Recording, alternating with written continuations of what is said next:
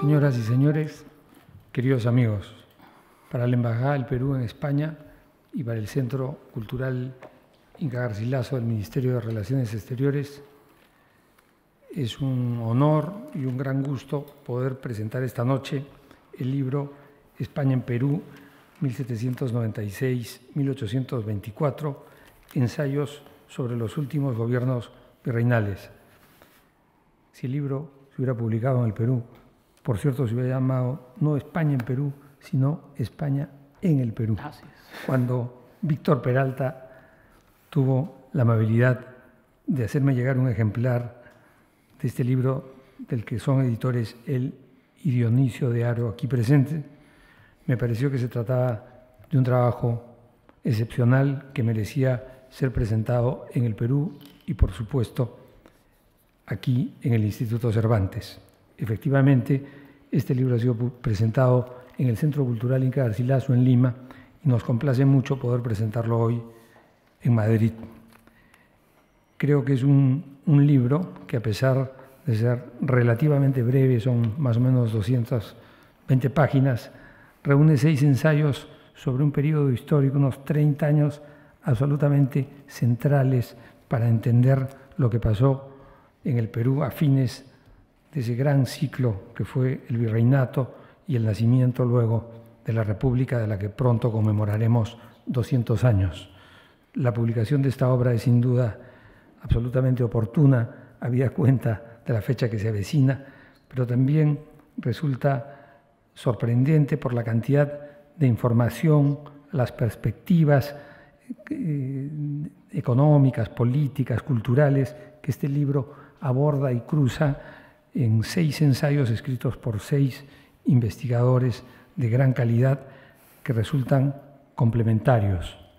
Hay uno en particular que me ha resultado absolutamente sorprendente, que tiene que ver con la, la vida de un intendente del Cusco, entiendo que un vizcaíno apellidado San Clemente, que antes está en Manila y después llega a la antigua capital de los incas con una magnífica biblioteca que transporta vía Buenos Aires y, en fin el pobre muere en el Cusco en 1809.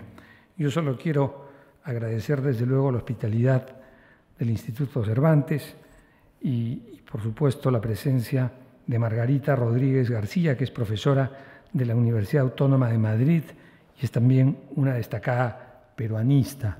Quiero, por supuesto, agradecer a Dionisio de Aro, profesor de la Universidad Rey Juan Carlos, quien es un experto en historia económica que ha trabajado también temas muy importantes para la historia del Perú.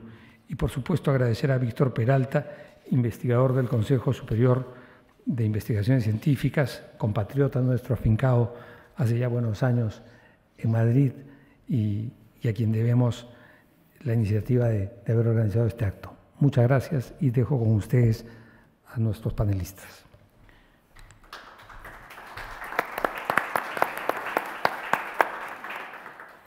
Bueno, eh, gracias por la asistencia, eh, gracias al Instituto eh, eh, Cervantes, al Centro Cultural Inca Garcilaso por la invitación a presentar este libro que como bien ha dicho mi amigo Alonso Ruiz Rosas, gran animador de estos eventos culturales en Madrid, eh, pues eh, es, eh, ya se presentó en Lima en agosto y ahora eh, el motivo de presentarlo es también eh, quizás eh, promover a partir de estos momentos toda una serie de encuentros relacionados con la proximidad del bicentenario de la independencia del Perú.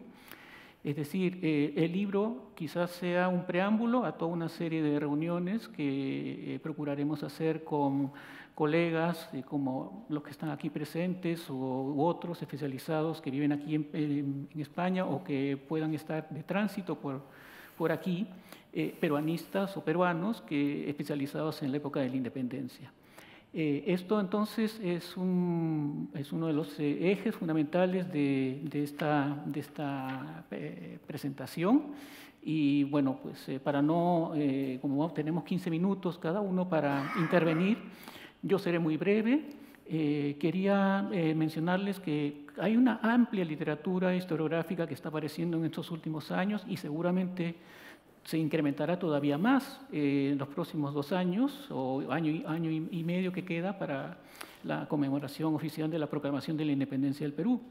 Entonces, en, en, este lapso yo he podido advertir que hay muchos trabajos que se están eh, eh, especializando ¿no? en temas de recuperación de historias de mujeres en la época de la independencia, eh, de historia de las clases populares, como también trabajos que vienen incursionando en la historia de la cultura política, la historia económica, en fin, es toda una, una, una, suerte de carrera por ver cómo se puede replantear antiguos, antiguas formas de ver el proceso de la independencia peruana, ¿no? que, como saben, eh, pues, eh, desde el siglo XIX hay una gran tradición historiográfica eh, que se inicia con la obra de la, evolución de la independencia del Perú de Benjamín Vicuña Maquena o la historia del Perú independiente de, de Pasoldán y que en los años ya del centenario de la independencia pues comenzaron con los trabajos de Jorge Basadre, Jorge Guillermo Leguía,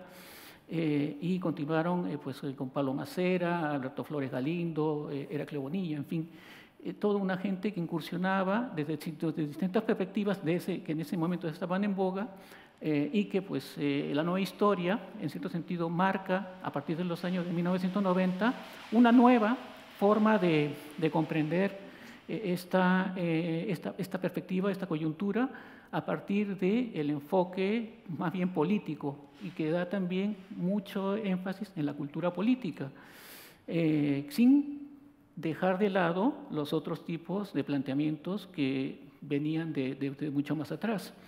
Entonces, este libro, en cierto sentido, eh, es un referente de, digamos, cómo se practica la historia política, la historia, pero alimentada desde el punto de vista social, económico, eh, cultural, eh, militar, y por, esa, eh, por eso la, la, diría yo que la principal característica de este libro, más que seguir una corriente, como la he estado mencionando para anteriores, es su innovación metodológica. Tenemos hasta cinco o seis perspectivas metodológicas distintas. ustedes si compran el libro y lo, y lo, y lo van a disfrutar, eh, tienen pues eh, aquí, mm, vamos, desde la, visión institucional tradicional, la biografía de, que corresponde a Bernardo O'Higgins, como también eh, otras perspectivas, la económica de Dionisio de Aro, la historia militar de Ascensión Martínez Riaza, la historia, digamos, regional con perspectiva intelectual de Margarita Rodríguez y Margarena Jarro, eh, las resonancias de la Revolución de Mayo, que es mi, trabajo, yo diría que la, clasificaría como una historia transfronteriza, que es eh, el, deseo de ver la, historia, pero, la independencia peruana no en sí misma, dentro de su propia frontera, como muchas veces eh, caemos en, ese tipo de perspectiva, sino más bien verla desde la influencia que tuvieron otras realidades sobre la independencia peruana en el caso sudamericano. En, mi caso, pues verlo desde el, impacto del Río de la Plata, eh, eh, Charcas y Chile en el proceso de la independencia peruana.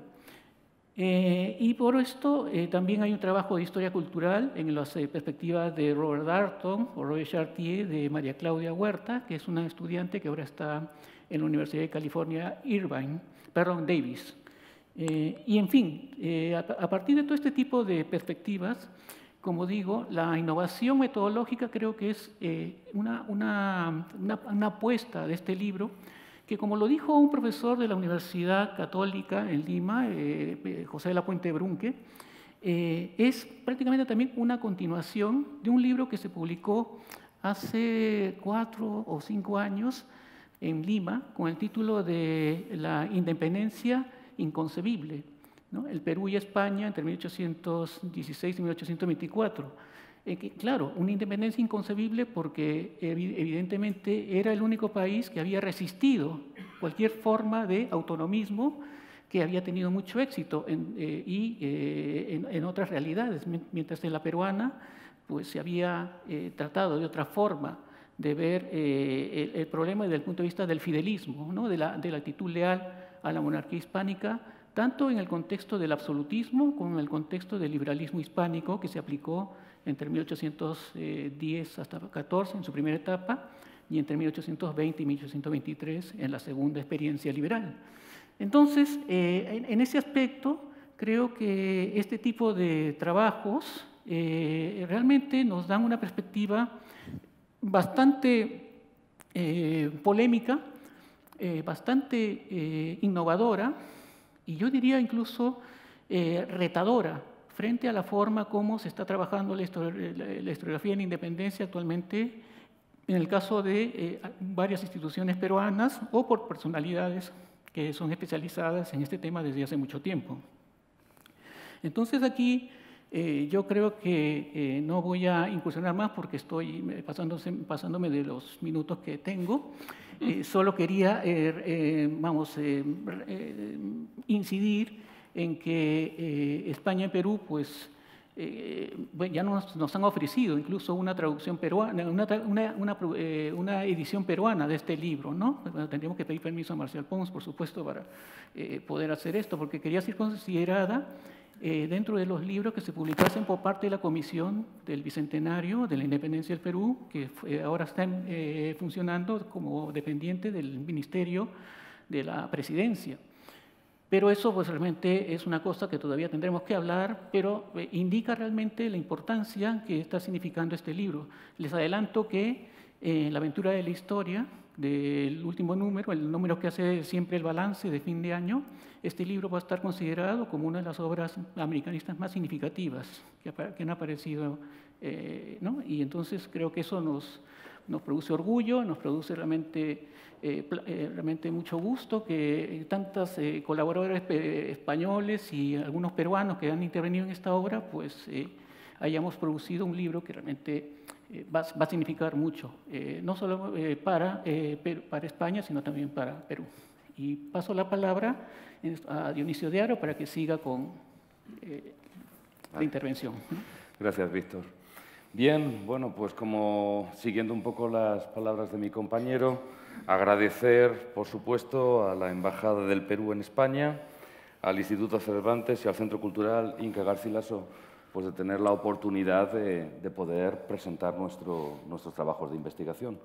Porque, como bien se dice, sin, difusión la investigación no sirve de nada.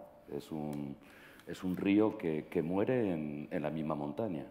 Por tanto, la gente que nos dedicamos a la investigación, la gente que nos dedicamos a la universidad, pues ese es nuestro cometido en esta sociedad, generar y transmitir conocimiento. Por lo tanto, generamos conocimiento o intentamos generar conocimiento a través de nuestras investigaciones, pero sin transmitirlo, pues prácticamente nuestros trabajos se reducirían pues, a, círculos muy, muy, muy pequeñitos y eso es lo que no queremos. Porque lo primero que sí me gustaría hacer es un poco reivindicar el papel de los historiadores es decir, el, papel de los historiadores en la sociedad. Eh, caminamos inexorablemente hacia, hacia el bicentenario, en este caso, y es un momento que, más allá de los actos institucionales que se organicen para tan señalada efeméride, pues eh, es momento de reivindicación de nuestra profesión y del papel que han de jugar los historiadores en la sociedad. A fin de cuentas, a fin y al cabo, muchos piensan en una sociedad dominada por los medios de comunicación y por las redes sociales, en donde prácticamente la, realidad se observa a sí misma. continuamente se está hablando, continuamente se está analizando, pero no paramos, no, dejamos de, analizar la, realidad en sí misma. Pues que dedicarse a la historia, dedicarse al pasado, pues es un esfuerzo inútil. En el mejor de los casos, una mera distracción. Eh, es más habitual que se valoren pues, las ciencias de la naturaleza como motores de cambio tecnológico o, en el mejor de los casos, entre las ciencias sociales, pues que se preste más atención a aquellas que dedicadas al presente parecen tener aplicaciones inmediatas. No, es el caso de la historia. Pero mi pregunta es, eh, ¿cómo podemos pretender la comprensión del hecho presente sin la historia? La realidad no es estática, de forma que solo el análisis histórico nos permite comprenderla en su plena dimensión. Pero hay algo más. Mark Bloch, en una inconclusa obra que ha pasado a ser un pequeño y gran libro clásico de la historiografía, cuando desde el campo de la resistencia francesa reflexionaba sobre el oficio del historiador y al mismo tiempo de lo que estaba acaeciendo en su propio país, comenzaba con la pregunta de un niño. La pregunta era, era así de sencilla, era, papá, eh, ¿para qué sirve la historia? Las páginas que seguían querían ser una respuesta y para Bloch la legitimidad del análisis histórico deriva no solo en su capacidad de explicar la realidad humana, sino también una aportación para mejorar la vida del hombre. Carlos Cipolla añadió que la historia es una forma intelectual de entender el mundo que permite contemplar en su auténtica dimensión los problemas actuales. Es un ejercicio práctico de comprensión del hombre y la sociedad que nos aleja del provincianismo y nos desafía a modelar nuestra visión del mundo. Muchas veces los historiadores, cuando trabajamos en otros mundos, trabajamos en otros, en otros entornos sociales, en otros tiempos, nos damos cuenta de que nuestra visión del mundo es muy limitada. Es una visión del mundo, una entre otras muchas posibles. Y recordando esa famosa frase del libro de Harley Leslie, la de el pasado es un país extranjero, allí las cosas se hacen de otra manera, pues bueno, siempre es un buen consejo para acercarnos a la historia sin, caer en, el presentismo. Y a pesar de nuestras enormes limitaciones, las que tienen que ver pues, con la imprecisión inherente a la inconmensurable tarea de reconstruir el pasado, el subjetivismo. Nosotros nos, manejamos con el subjetivismo, pero es que es, inevitable, es inherente a nuestro trabajo. Y, por otro lado, la dificultad de penetrar en las profundidades de los movimientos de la historia, bueno, no podemos renunciar a nuestro encargo como historiadores de recopilar, analizar de forma crítica e interpretar un pasado que a su vez ayuda a la comprensión de los problemas presentes. Esa es nuestra labor. Y, también llamar la atención de otro aspecto que yo creo que es importante tener en cuenta. Cuando nosotros analizamos el pasado, lo vemos como una sucesión lógica e ineluctable de acontecimientos. Se produjo la independencia porque se tenía que producir, se desarrollaron los estados-nación, pues se tenía, es decir, es una sucesión lógica e ineluctable de acontecimientos y, no, no, nos, no nos paramos a pensar de que en el presente las sociedades y también los individuos estamos continuamente decidiendo. En algunos casos no de manera racional, ante un amplio abanico de posibilidades que, acabarán decidiendo un futuro incierto en ese momento. Y, eso ocurre ahora y ocurrió también hace 200 años en, el Perú como hace 250 años en cualquier otro, otro ámbito. El, el trabajo que, el, el, libro que venimos a, a, presentarles a ustedes, pues es el libro fruto de un laborioso, de un laborioso trabajo de investigación en el que hemos participado pues, muchos investigadores y que, y que ha sido una parte importante de nuestra vida. O sea, es el resultado, es el último hito pues de un largo trabajo de, proyectos de investigación que, por lo menos en la última década, nos han permitido una, continuidad. Eh, y en este sentido quisiera recordar pues, a dos investigadores, dos IPs que denominamos, muy importantes y, que con su cabeza, su, tesón y su generosidad pues, han hecho posible pues, que estemos llegando a los puertos a los que estamos llegando. Quiero recordar a la doctora Ascensión Martínez Riaza y al, doctor Alfredo Moreno Cebrián, pues como grandes impulsores en, estas investigaciones que nos han permitido llegar pues, hasta donde hemos llegado. Es un, libro, es un trabajo que es un trabajo que tiene, bueno, yo ya no sé del tiempo cómo voy ni. Bien. Es un, es un trabajo, es un libro que tiene ala y tiene cuerpo. Es decir, alas, como ha dicho mi compañero, es un libro que mm, trata una época y la trata desde distintas perspectivas. Las alas son amplias, la historia militar, la historia política, la historia regional, la historia económica, eh, pero tiene cuerpo, es decir, tiene una idea, una idea fuerza y es considerar este periodo, el periodo entre es un periodo a caballo entre el siglo XVIII y el siglo XIX. es un periodo, por lo tanto, que comprende 1796-1824, en el que el mundo está cambiando. Es decir, en el mundo se están produciendo cambios trascendentales que van a, van a definir el mundo en los próximos 200 años, que es la Revolución Francesa y la Revolución Industrial. Cambios económicos, políticos, sociales de primera magnitud en la que en este caso la monarquía hispánica pues que tiene que hacer frente, es decir, no, no, no puedes meter meter la cabeza bajo la tierra como un avestruz. Y por tanto el, libro es un libro sugerente. es un libro sugerente en el sentido de que intenta rastrear todos aquellos proyectos, iniciativas, innovaciones que, que se experimentan en el virreinato del Perú, en absolutismo y en liberalismo. Experimentos, proyectos que intentan mantener unido un Estado transoceánico, un Estado que tiene su parte europea y que tiene su parte americana, pero que es entendida como un todo en, la época. Y por lo tanto es un, es un libro que rompe con, con, ideas lineales, con planteamientos lineales. Es un libro de grises, no de blancos y negros. Es un libro en el que se intenta calibrar los esfuerzos por parte de las autoridades y de las instituciones virreinales por hacer frente a esa realidad. Es decir, en la que buscar su sitio en un mundo cambiante. Y repito, muy, muy cambiante. Lo que pasa es que desde el presente, pues la globalización y, además en estas sociedades dominadas por los medios de comunicación y por las redes sociales que da la sensación de que todas las mañanas estamos descubriendo el Mediterráneo, pues no somos, no somos, eh, no somos conscientes de, que estos cambios a los que he hecho antes referencia son cambios radicales y que efectivamente transforman el mundo en los próximos 200 años. Todo gira, hay un, hay un proyecto, y ya hablo un poco desde el punto de vista de la historia económica, hay un, hay un programa que este país intenta poner en marcha, que es la Constitución de 1812. Por eso continuamente el virreinato se va a debatir entre tradición y reforma, entre absolutismo y liberalismo. Y el proyecto de la Constitución de 1812 es un proyecto muy avanzado, es un proyecto liberal, avanzado, bueno, pues que también intenta ponerse en marcha en la otra orilla del Atlántico. Es un momento, por lo tanto, de, cambios, de, de, dudas, de innovaciones y de proyectos que se abortan y que se rescatan.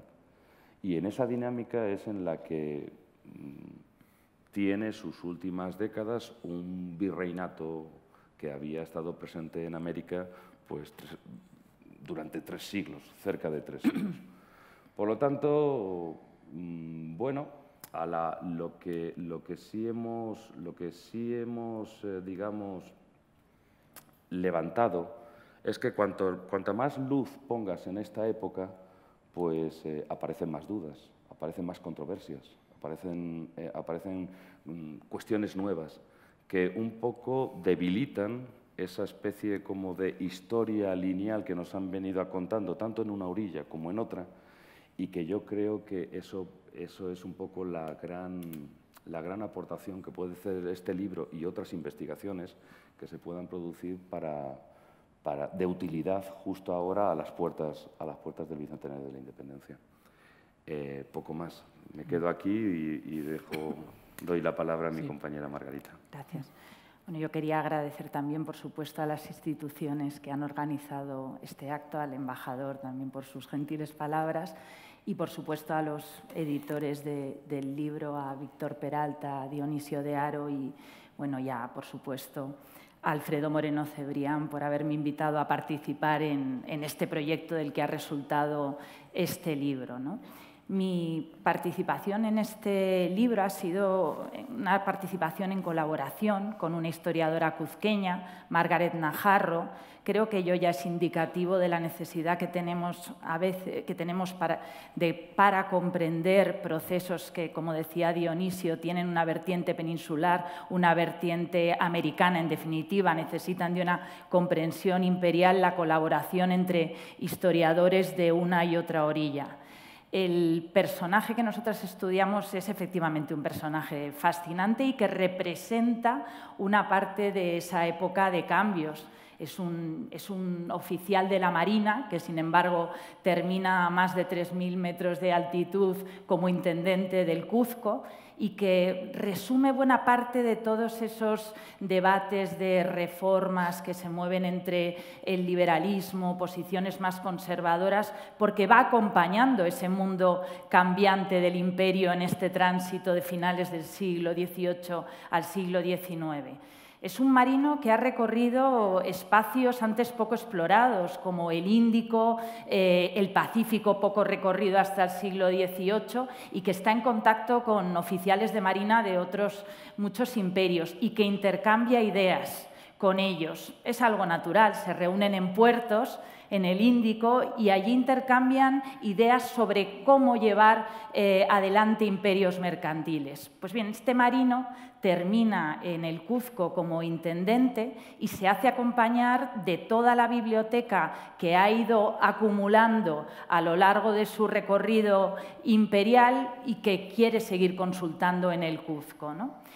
¿Qué nos dice esa biblioteca justamente de este mundo en tránsito, de este mundo cambiante? Pues eh, nos dice que muchos de estos, tanto oficiales enviados o militares enviados a la América española con todo el proyecto del reformismo borbónico, como los propios criollos peruanos, en este caso, compartían muchas ideas en común. Francisco San Clemente posee en su biblioteca muchas de las obras que representan el liberalismo económico, varias versiones de la obra de Adam Smith, muchas de las ideas que después los independentistas van a presentar para justificar la necesidad de garantizar una autonomía y, el poder dirigir el destino de sus territorios. En nombre de esas mismas ideas se harán las independencias. No quiere decir que San Clemente ni los criollos que las están leyendo en ese momento todavía pensaran ¿no? a finales del siglo XVIII en la ruptura, pero también San Clemente, como buen ilustrado, se preocupa de leer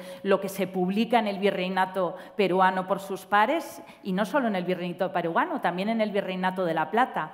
De nuevo, su biblioteca nos permite entender, como decía Víctor, que todas esas fronteras que empiezan a ser superadas, que había establecido la historiografía, no tienen mucho sentido. Cuando San Clemente viaja al Perú y lo hace a través de Buenos Aires hasta llegar al Cuzco, en lo que será su último destino, se preocupa, al pasar por Buenos Aires, pues por recoger lo que leían los rioplatenses, el telégrafo mercantil, rural, político, económico e historiográfico del Río de la Plata, la oración fúnebre de Carlos III del deán Gregorio Funes y, por supuesto, al llegar El Cuzco se encarga de recoger y que le hagan enviar lo que era la principal representación del pensamiento ilustrado en el virreinato peruano, el periódico Mercurio Peruano, editado entre 1791 y 1795. Esa es la biblioteca de San Clemente, alguien que encuentra en los americanos sus pares, recoge las discusiones que ellos están manteniendo,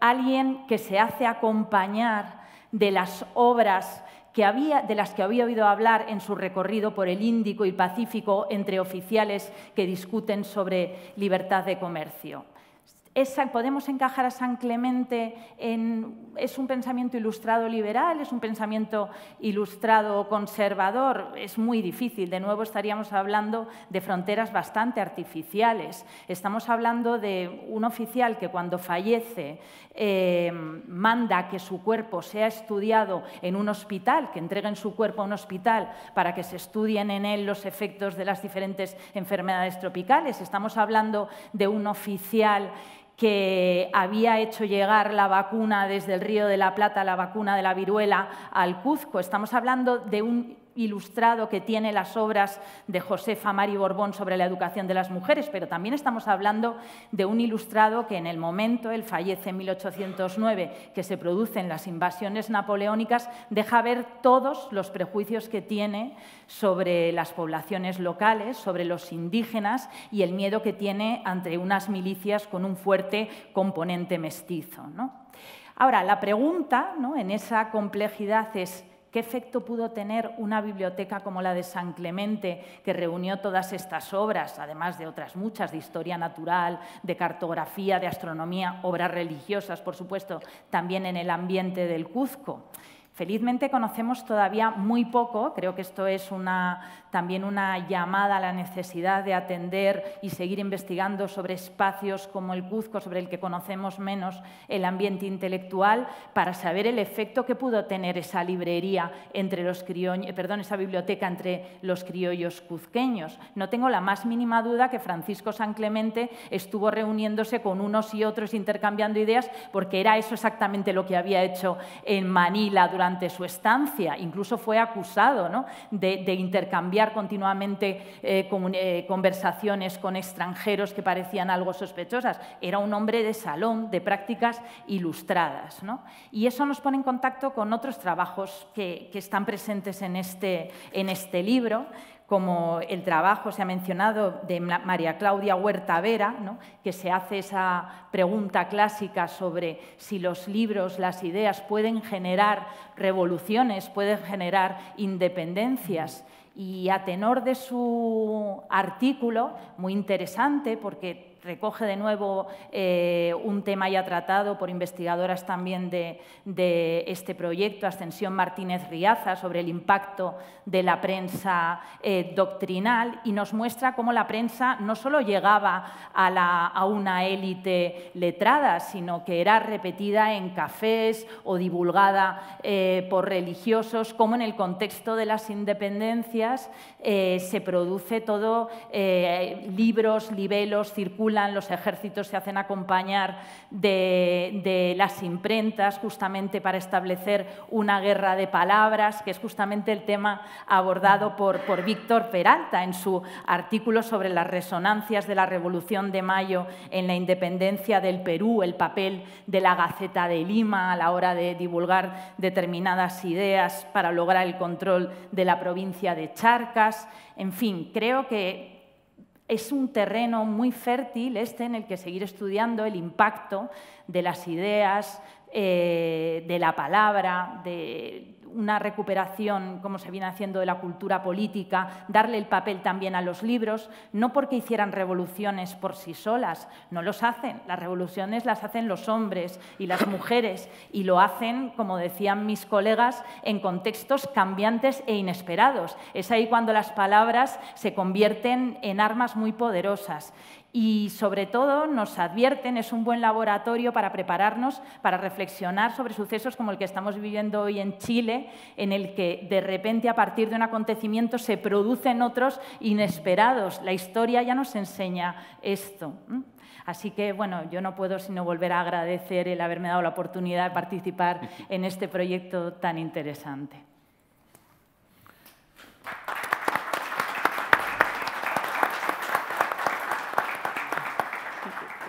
Como tenemos 15 eh, minutos o un poco más para mm, conversar, que esa era la idea de esta presentación, pues eh, quería ceder, la palabra al público eh, para que preguntara, opinara sobre no este libro tampoco, sino también sobre la independencia en sí misma, ¿no? el bicentenario.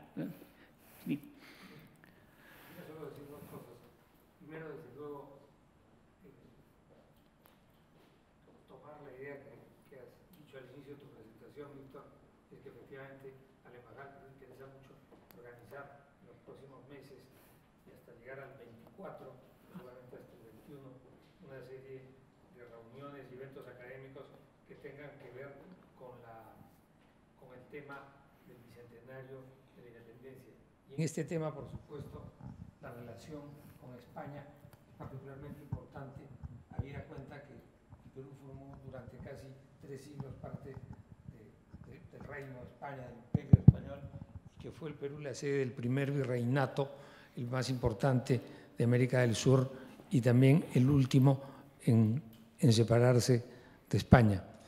A propósito, en el libro de ustedes surge una pregunta que, me parece pertinente plantear relacionada con las reformas borbónicas. Las reformas borbónicas han sido muy satanizadas por muchas razones, pero da la impresión que lo que queda claro, por lo menos, es que el pacto secular que de algún modo suscribe la monarquía de los Austrias española con las élites indígenas peruanas, ¿no es cierto?, que permite una convivencia, etcétera, etcétera, se quiebra con, con esas reformas. Quisiera saber si eso es así. Y un segundo tema, si me permiten, que también es fascinante en este libro, tiene que ver con la división de las fuerzas españolas a la hora de enfrentarse a los ejércitos que vienen por un lado del sur, ¿no es cierto?, que parten de Buenos Aires y por el otro lado del norte. Los famosos ayacuchos, los oficiales españoles que regresan después de la capitulación a España van a incidir mucho en su lealtad, pero también van a tener que, aclarar muchas cosas en relación a, a, Olañeta y a, y a, estos sucesos. Me gustaría conocer su opinión al respecto. Gracias. Las reformas borbónicas. ¿Mm? Las reformas borbónicas. Las reformas borbónicas, vale. Bueno, eh, yo contestaré la primera, la primera parte, las eh, reformas borbónicas.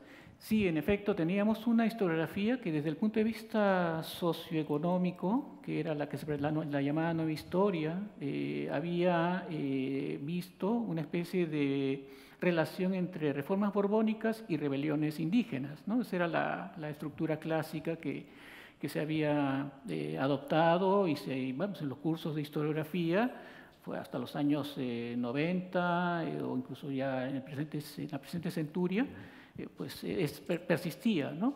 Ahora tenemos una visión que sin negar ese tipo de, de correlación, que también en cierto sentido no es del todo así unívoca, o sea, no es, no es del todo tan, tan vinculada así directamente, eh, creo que eh, ahora vemos cómo las reformas borbónicas también tuvieron efectos eh, positivos en otras áreas, sobre todo en lo cultural, en lo, en lo, en lo social.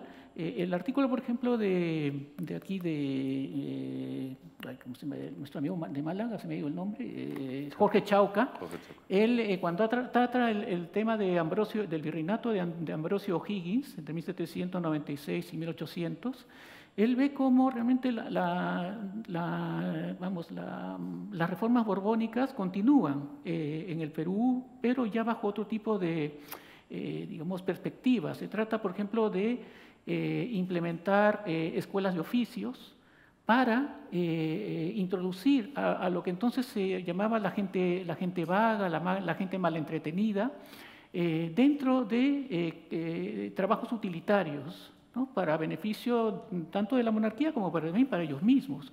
Entonces, él allí, este es un ejemplo, ¿no? Realmente, pero se puede ver también en, el punto de vista de la, minería, eh, eh, eh, también cambios, de tal modo que si vemos de una, de, una, manera más integral las reformas borbónicas, yo creo que este libro, bueno, por supuesto, el, trabajo de Margarita, del intendente, eh, también él, en cierto sentido, eh, está eh, imbuido con toda una serie de, perspectivas de, reformismo que, sobre todo en una zona que se está convulsionando, como el Cusco, con la conspiración de Aguilar Yugal de 1805, cuando él llega, él trata de implementar también otro tipo de, de, estructuras, eh, de cambios eh, relacionados con este tema de las, de las reformas borbónicas y que también, por supuesto, la ilustración entra dentro de esta, dentro de esta perspectiva de las reformas borbónicas.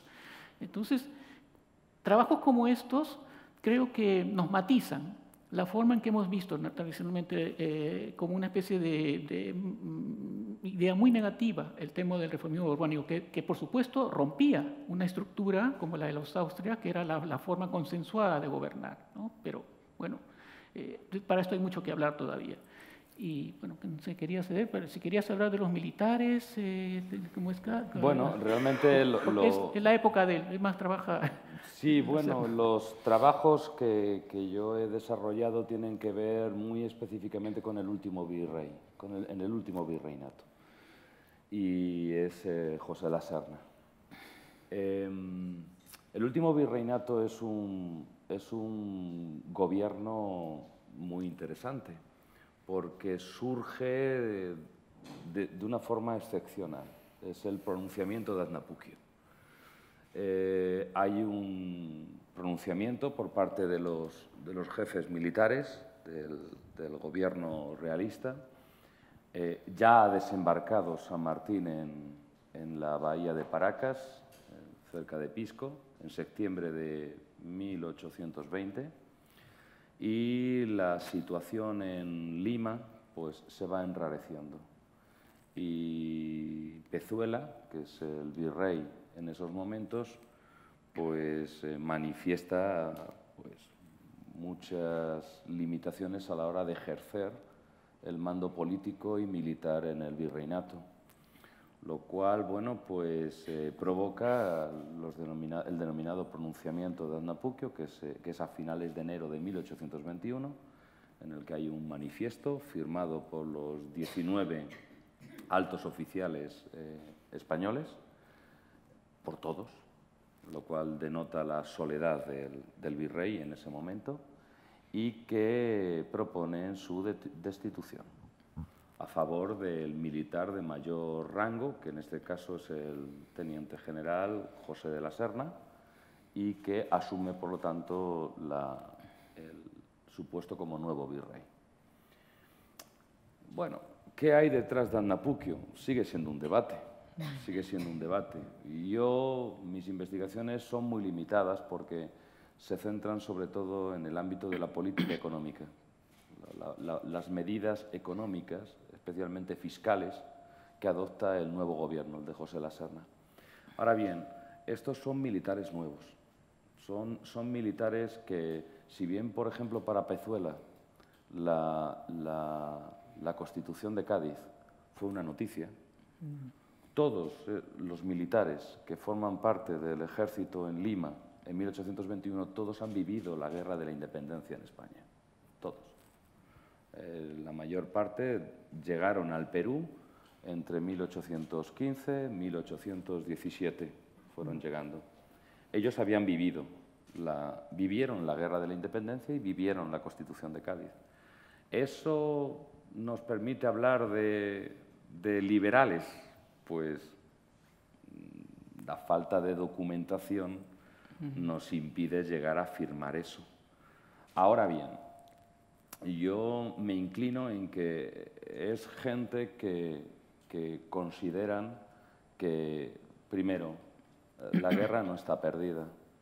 Es decir, y es verdad que la, guerra en 1821 sigue desenvolviéndose en un escenario de indecisión. La guerra no está decidida. Y en segundo lugar, ellos es verdad que gobiernan en los años de guerra, gobiernan aplicando el Código Constitucional. Por ejemplo, para mí fue muy revelador pues que un virrey que entre enero y junio, entre enero y principios de julio de 1821 está en Lima, pues bueno, se preocupe por elaborar un padrón de contribuyentes de la ciudad. Porque ellos están convencidos de que todos los ciudadanos españoles, claro está, porque es territorio español, tienen que contribuir en base a su capacidad económica. Eso, eso, es, eso, es, eso es Cádiz. Esas son las medidas fiscales de Cádiz. Es decir, ya no, aquí no se tiene que contribuir al Estado en base a los estamentos, en base a las corporaciones, en base a... o, unos tienen que mantener unos privilegios. No, no, no. Vamos a hacer un padrón, y, se elabora un padrón en donde se, se, registran a, a cerca de 2.700 cabezas de familia, en donde se determina su capacidad económica en unas clases, pues es una especie como de impuesto de la renta, es un IRPF, donde uno está en, la clase 1 y los más potentes pues están en la clase 14, de la 1 a la 14. Y que todos evidentemente tienen que contribuir en función de en qué tramo te encuentres del IRPF y eh, dependiendo de tu capacidad económica. Claro, tienes que estar convencido de, que, de que hay un nuevo proyecto de gobernanza y un nuevo proyecto de, gobernar políticamente y económicamente el territorio. Cuando el gobierno, cuando el virrey y su gobierno se trasladan al Cuzco, esto a través de las investigaciones de Nuria Sala lo supimos, tres veces se votó. Es decir, en el Perú, cuando se vota por primera vez es con el, es con el virreinato. Se, ya se votó, ya se votó en diciembre en Lima para elegir al nuevo ayuntamiento constitucional, en diciembre de 1820, y se vota tres veces en el Cuzco, en Huamanga y en Arequipa, como levantó Nuria Sala, para elegir ayuntamiento, diputados provinciales y diputados a las Cortes. O sea, imagínense, 1821, 1824, ¿qué diputados iba a mandar el virreinato a las Cortes? Pues se vota, se vota. Em, claro, ¿cuál, fue, ¿cuál pudo ser el efecto del levantamiento de Olañeta en, en, en 1824, pues es imposible de calibrar. Es imposible de calibrar, pero claro, el levantamiento que dejó todo el flanco del Alto Perú, pues, eh, pues bueno, pues un poco desvanecido en, plena guerra de la independencia, en un momento en el que la guerra no estaba ni muchísimo menos decidida. Eh, bueno, pues ¿qué, ¿cuál tuvo que ser el efecto para este último virrey que, digamos, aplicó, es verdad que aplicó a su manera el Código Constitucional? Pues es difícil de calibrar. Eran liberales, eran absolutistas, eran leales, difícil de equilibrar. Pero sí que, sí que gobernaron con un proyecto nuevo, que también era el proyecto que España se había, había recuperado en el trienio liberal entre 1820 y 1823 como un proyecto nuevo de país. Y era un proyecto muy avanzado, repito. Aquí en España no recuperamos, la, no, no recuperamos un proyecto tan avanzado como el de la Constitución de Cádiz, no lo recuperamos hasta el sesenio democrático de 1869 y lo recuperaremos temporalmente. Cuando digo un proyecto avanzado, vamos a ver, es que vota todo el mundo, todos los ciudadanos votan siempre y cuando sean mayores de 25 años y acrediten su, bueno, ser ciudadanos españoles. Es que es un proyecto muy avanzado. Eso es, eso es decir mucho. Y en términos fiscales, los proyectos fiscales de la, de la, Constitución, los que emanan de la Constitución y que forman parte de los, de los, de los planes presupuestarios del trienio 1820, 1821, 1822, porque ya en el 23 eh, Mariano Egea ya no, ya no presenta nada, porque total ya está el duque de Angulema, ya está recorriendo con su saca el territorio peninsular. Em, son proyectos fiscales, repito, muy avanzados, muy avanzados. No sé si Margarita ¿Quieres hablar algo sobre reformismo borbónico? Bueno, en, relación a esa bueno, política del reformismo borbónico hacia, hacia los indígenas, ¿no? Mm, estudiando el caso de San Clemente, podría ser representante de este intendente bien formado en el reformismo ilustrado, ¿no? porque otros intendentes pudieron no tener una formación tan buena como la suya, eh, yo diría yo, con un carácter ilustrado claro, por lo menos un buen conocedor de la literatura ilustrada. Pero además las, instrucciones que lleva, desde luego, son las de evitar abusos sobre los indios. O sea, eso queda clarísimo. Es verdad que San Clemente llega al Cuzco ya algo cansado y con muchas ganas de regresar a la península. Eh, pero la documentación que hemos podido localizar hasta el momento, Margaret y yo, nos permite ver en esa misma línea del virrey O'Higgins que es partidario de fomentar proyectos de creación de escuelas para, para indios, de evitar repartos, los famosos repartos forzosos de mercancías eh, a la población indígena. Ahora, yo diría que en términos generales el reformismo ilustrado, y me atrevería a decir, por lo menos en lo que atañe a, este periódico El Mercurio Peruano, ese proyecto reformista, eh, la línea general sí, es una incorporación del indígena al proyecto reformista, al proyecto ilustrado. Lo que no hay es una incorporación de la cultura indígena. Eh, creo que ese sería sobre todo el, aspecto en el que al que deberíamos dar mayor atención porque es el que va a traspasar las independencias.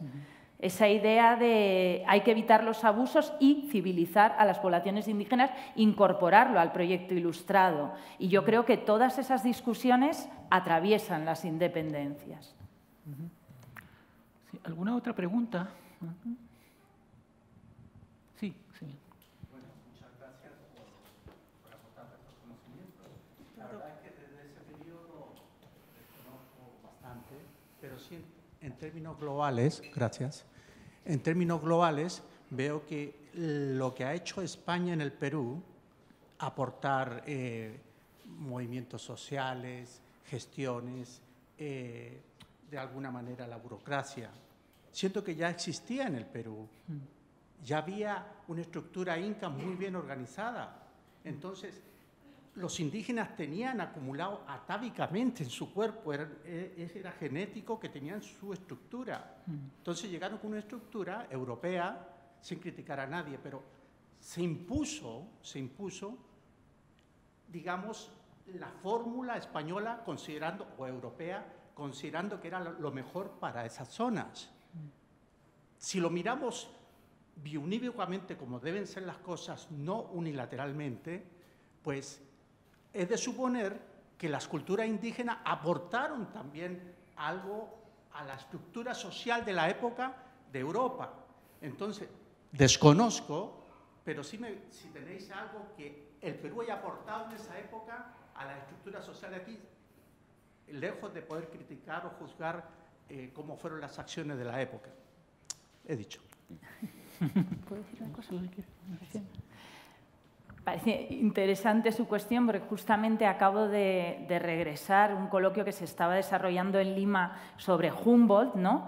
y escuchando a los colegas explicaban cómo Humboldt, por su paso por América, muchas de sus aportaciones, por ejemplo, sobre la geografía de las plantas, primero habían bebido ¿no? todas sus teorías sobre la diferente distribución de las plantas según eh, la altura y el clima, primero habían bebido de aportaciones de criollos, en este caso de Nueva Granada, como José de Caldás, pero además estaban recibiendo todo un saber andino sobre los diferentes, cómo controlar los diferentes pisos ecológicos y tanto ese saber indígena como ese saber criollo discutido, puesto en contacto eh, con las discusiones científicas que se estaban desarrollando en Europa está en la obra de Humboldt.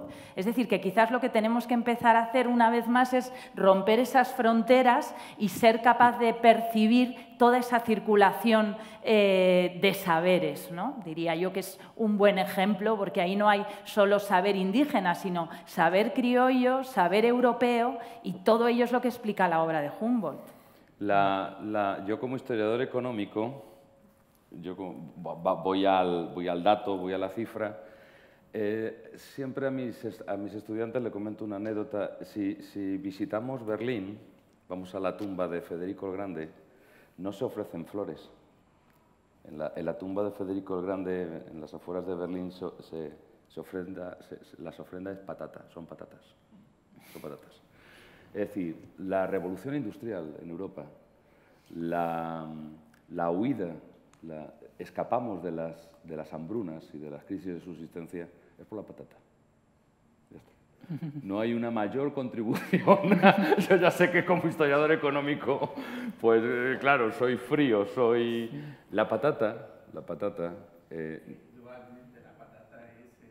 decimos, decimos bye bye a la crisis de subsistencia. Por lo tanto, es... Sí. también, por ejemplo, voy un poquito más a la esencia del, trasiego de, cultura o información. Por ejemplo, tú me hablabas de Humboldt es posible, pero también estaba Linneo, el, el, sueco, que hizo una taxonomía de todas las especies, tanto animales, vegetales, y sin embargo la estructura que plantó es europea. O sea, no se respetaron ni siquiera los nombres eh, autóctonos, no que se no hayan respetado, se, se impusieron los otros, nada más. Pero eh, la verdad, indudablemente que eso, eso no tiene parangón, ¿no?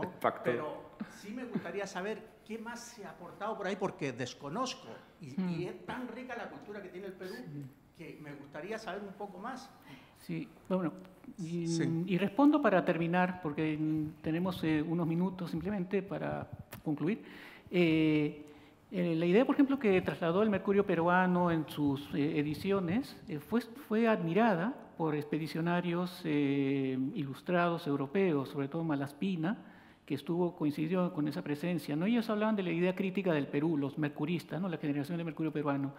Y eh, en esa lectura, en donde se valoraba tanto el pasado, digamos, lo que se había vivido en la época colonial, como también en el pasado prehispánico, todo eso fue trasladado a Europa. Eh, a, fines del siglo XIX. Quien se encargó de eso fue un, personaje, José Ignacio de Lecuanda, quien hizo aquí eh, una representación de eso del mercurio peruano en un, gran, en, un cuadro histórico que seguramente no conocen acá porque no se, eh, está en el Museo de Ciencias Naturales, pero no se exhibe, que se llama el cuadro del Perú de 1799. Ahí está prácticamente toda una eh, correlación entre los eh, aportes del periodo prehispánico, el aporte colonial, hasta el momento en que él pudo hacer esa obra, que es 1799. es parte de esa especie de retroalimentación que había entre pasado y presente, ¿no? entre cultura virreinal y cultura prehispánica. Y todo eso, pues, realmente son cosas que se han conocido recién en, en, estas, en, estos últimos, en estas últimas décadas. Y bueno, para terminar, eh, el libro lleva por subtítulo Ensayo sobre los últimos gobiernos virreinales. Está dedicada, como han mencionado aquí mis colegas, al profesor Alfredo Moreno Cebrián, quien eh, él, también, eh, más bien, él es el, especialista en los, los, primeros gobiernos virreinales borbónicos. Y, entonces creo que nosotros tres reconocemos realmente el aporte de, de nuestro colega, que ahora es profesor emérito del CSIC, y que realmente pues, eh, ha sido un gran animador, como mencionó Dionisio, de todo este trabajo. Y con esto quiero agradecerle su presencia, muchas gracias, y espero que les, el libro les, les plazca.